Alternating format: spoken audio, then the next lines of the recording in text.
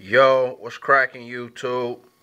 It's the Hood Tech Man back at it again. And this time I am here to show you guys the Galaxy Note.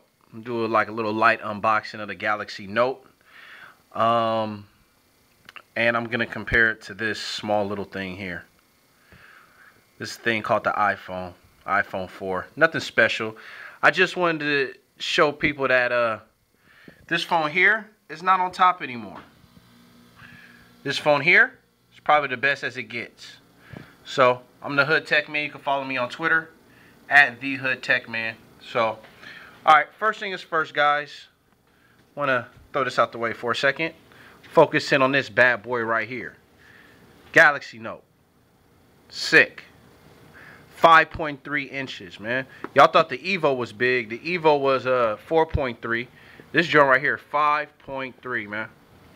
So, look at this. Samsung, y'all did it, man. You killing the game right now. Galaxy Note. Super AMOLED HD. Man, even got a, a stylus pen to go with it, man. Thing is sick. Let's see if I can do this. Let me switch hands. And boom. See that? Switch hands real quick. Let's dump that bad boy out. Let me cut this on. Look at that big old sucker. Let's see. Let's cut that on. Wow. We look at what's inside the box. Of course, it's the same old, same old. I guess earbuds or something of that nature. Once again, stuff we do not read anymore. Some of you guys don't even know how to read. No disrespect. But we don't need that. We don't need that. Oh, where'd the charger go? Oh, it's because I charged it up earlier. So, yeah. And so usually, eh, this one came with the European charger, but I had to get the adapter to go with it. And here it is. The Galaxy Note. This thing is Mondo. Here's my hand. Let's see if I have other things to compare to it. Well, let, well, let me get this stuff out the way. Let me get this stuff out the way.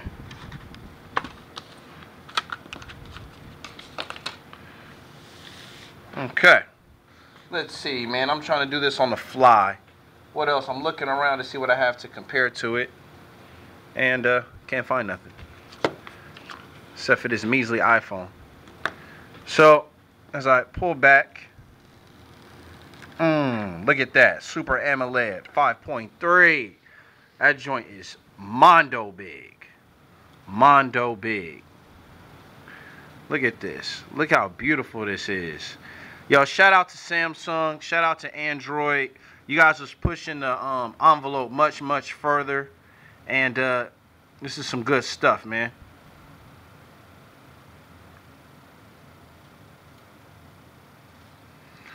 So, um, if you look on the back, if you look on the back, it has this uh, amateur handle. Take off that plastic. And there we go. Galaxy Note. Now, I would say this, guys. This Galaxy Note is one of the best devices out. Well, actually not out in America as of yet because this uh, the screen is so beautiful. It's a 5.3 inch screen, Super AMOLED HD, very very vibrant, very very colorful. I'm gonna try to see if I cut the display up a lot more. Settings, display, brightness,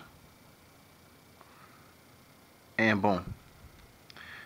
It's, uh, it's just it's just incredible. And, and you know what's crazy about this Galaxy Note? is when I go out in public, people are like, yo, what the hell is that? Is that a tablet or some kind of shit? I I mean, some people say it's a tablet. Some people say it's a phone. I say it's just a big old phone. Because a tablet to me is this thing here. Give me one second.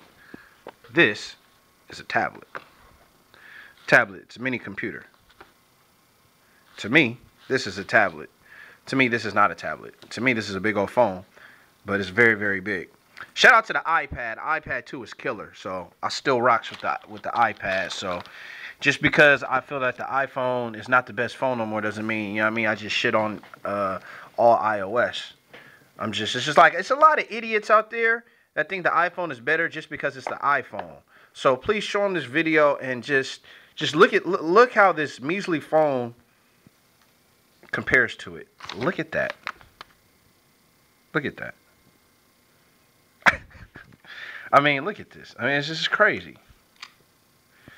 Oops, let me get. Uh, uh, uh, look at this. East Compton, man. Shout out to Compton. All right, so you have this iPhone, which I think is 3.5. Let's inverse 3.5 and turn it to 5.3. And this is what you got. Look how much. It's just. I'm going to put the actual screens. See the line from the screen? Let's look at the screen size. It's just insane. So I'm not going to do any tests on the um on this particular phone. I mean, you know, comparative, you know, in terms of the browser and all that kind of stuff. I just want you guys to see the different size and how that compares. So this is the Galaxy Note. This is a fantastic device. And uh, I'm going to try to put a quadrant on there. I'm trying to see if I can hurry up and do it. Let me see, where's my market?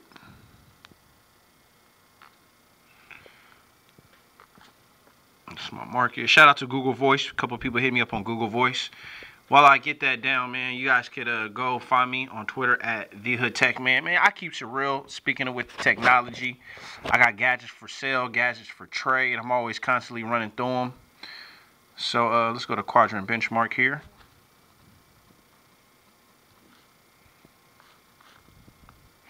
I believe typing on here is really good because it's so big that typing on here is fantastic. One thing that I noticed sucks with the Galaxy Note is the fact that it's so big we cannot put our favorite launchers on there, such as um, Launcher Pro, uh, ADW, all that kind of stuff. Go Go Launcher. I mean, we can put them on there, but it gets really laggy because I don't think those launchers were made to run such a big device like this. So if you know the Hood Tech Man, you know I fools with the uh, the quadrant benchmark. So let's run the quadrant benchmark and let's see what that do. While we do that, let's look at the phone that once was. Wow, look at the iPhone. Isn't this cool? Look, apps, man, apps. This is tight. Look at these apps. Oh, look, they have a scroll down. Oh, this is cool. Android got that. Yo, this big monster screen right here. This is the future of uh of uh, the phones in America.